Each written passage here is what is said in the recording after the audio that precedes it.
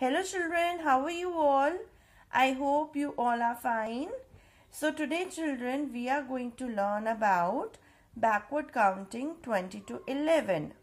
Now we have already done backward counting in our previous video from 10 to 1 and I'm sure now you have understood the meaning of backward counting which means reverse counting and we have already done that from 10 to 1.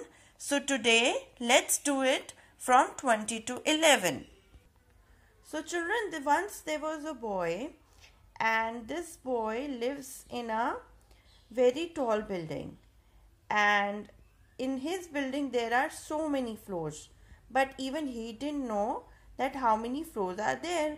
So one day he decided that I will count all the floors in my building. So let's start with him. Let's count one, two, three, four, five, six, seven, eight, nine, ten, eleven, twelve, thirteen, fourteen, fifteen, sixteen, seventeen, eighteen. 19, 20. Wow, so many floors are there in his building. He was very excited that yes, today I have counted all. But now after counting all the floors in his building, he was little tired also. So he he thought that let me go back to my floor and how will I go? I will do the backward counting and then I can reach back to my floor which is floor number 11. So let's do the backward counting with this boy. 20, 19, 18, 17, 16, 15, 14, 13, 12, 11. So, yes, now he has reached his floor and he was very happy to count all the floors.